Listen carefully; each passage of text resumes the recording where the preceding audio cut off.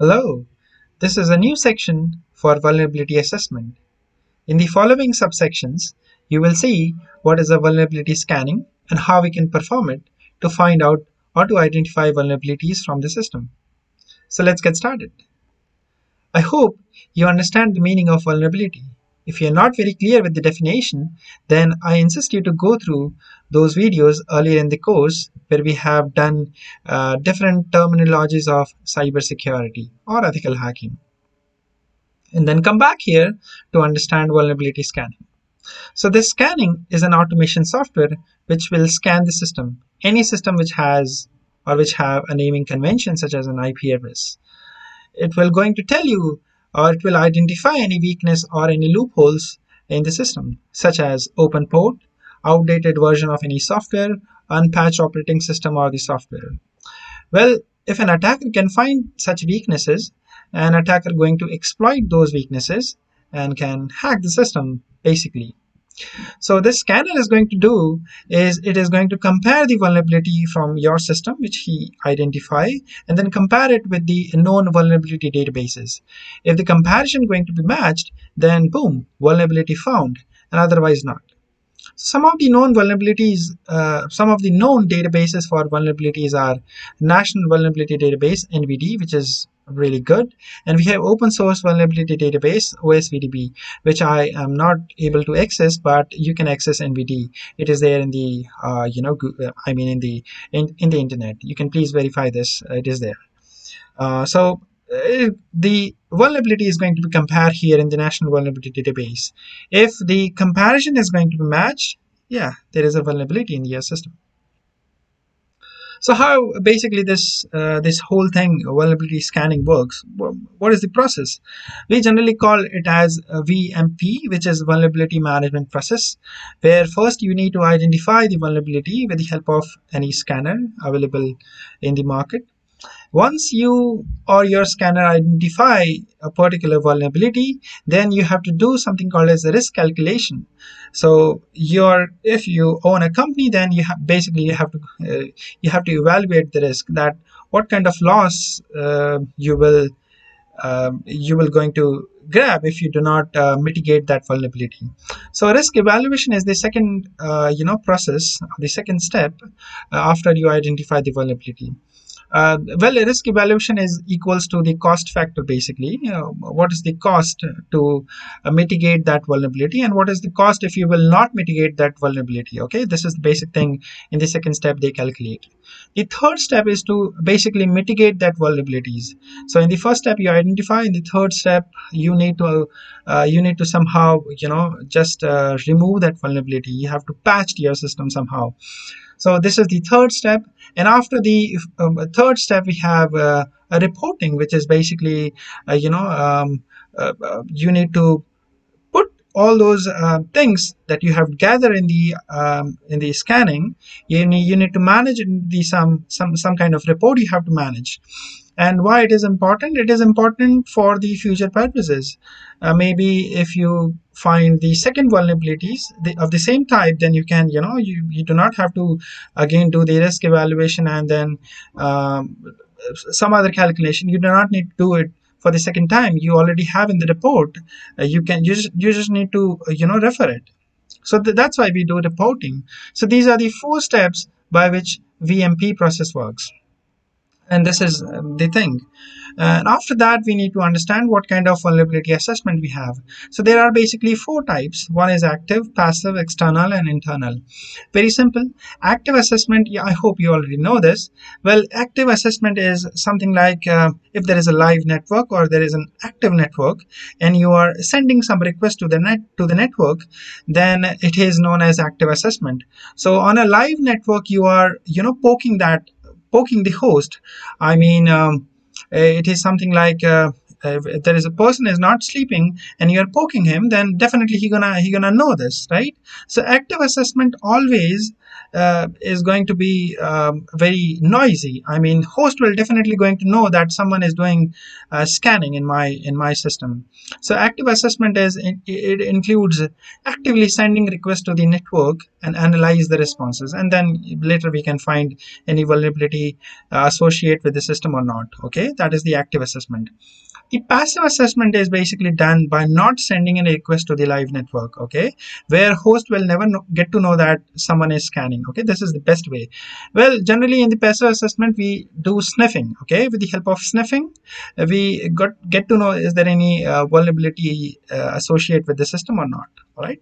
The third assessment is external assessment, where the perspective of um, a person is to hack the system and in that perspective he going to discover some vulnerabilities and he will exploit it from the outside. So this is external assessment.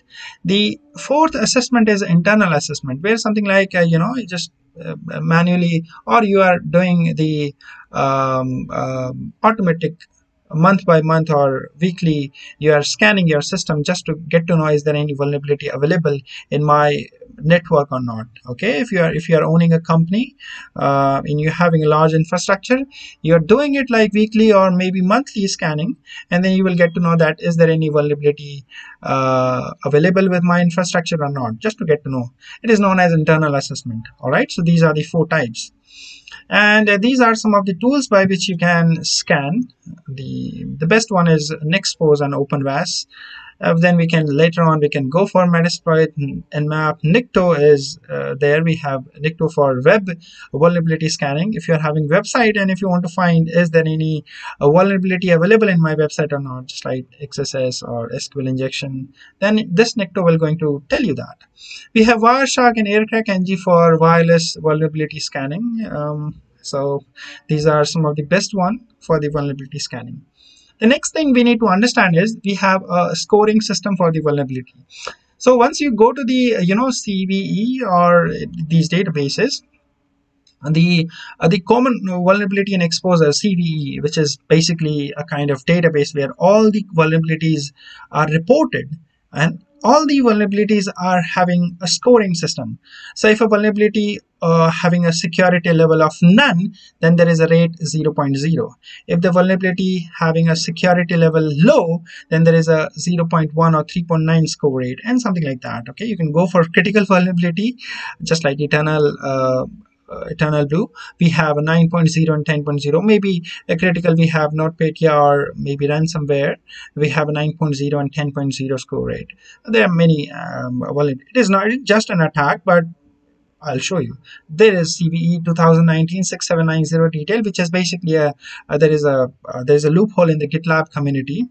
Uh, basically, it is an um, authorization uh, problem so you can see here that there's a base score of 4.3 medium, which is, you can see here, medium is uh, coming in under this region. So this is a medium. Sometimes you will find a vulnerability of uh, 9.0 and 10.0, which are uh, which are uh, of, of greater, you know, um, something like um, NotPetya, which has, you know, uh, cumulatively it had affected a large number of organizations. So so those kind of vulnerabilities uh, having a base score of 9 or 10 so you can see that uh, NVD we have a vulnerability database.